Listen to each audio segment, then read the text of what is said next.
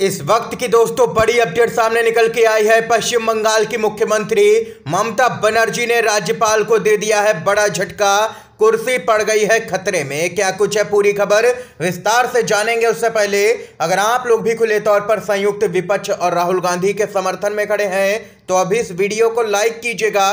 आप लोगों को बताते चलें, राज्यपाल को नॉर्थ बंगाल यूनिवर्सिटी में दिखाए गए काले झंडे। जी हाँ दोस्तों पश्चिम बंगाल के राज्यपाल सीवी आनंद बोस को उत्तर बंगाल में विरोध का सामना करना पड़ा है। जानकारी के मुताबिक जब राज्यपाल बोस सिलीगुड़ी स्थित नॉर्थ बंगाल यूनिवर्सिटी पहुँचे तो उन्हें काले झंडे दिखाए गए। सूत्रों से मिली जानकारी के मुताबिक तृणमूल कांग्रेस छात्र परिषद के सदस्यों ने राज्यपाल को काले झंडे दिखाए और गो बैक के नारे लगाए। राज्यपाल ने यहाँ पर इस घटना की निंदा की है। और इन सब के बीच में तृणमूल कांग्रेस ने राज्यपाल पर हमले तेज कर दिए हैं और उन्हें भाजपा का एजेंट करार दे दिया है।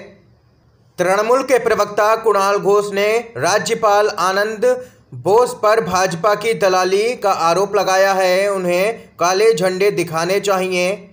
ये यहाँ पर खबर सामने निकल के आई है। देख सकते हैं कि राज्यपाल बीजेपी के कार्यकर्ता की तरह काम कर रहे हैं। ये आरोप टीएमसी ने लगाया है। ममता बनर्जी की पार्टी अब हमलावर हो गई है। इस समय की बड़ी खबर थी दोस्तों, अगर आप लोग भी ममता बनर्जी के समर्थन में हैं तो वीडियो को लाइक कीजिएगा, ज़्यादा से ज़्यादा शेयर कीजिएगा अपने सभी दोस्तों में खबर को। आप सभी का बहुत बहुत धन्यवाद।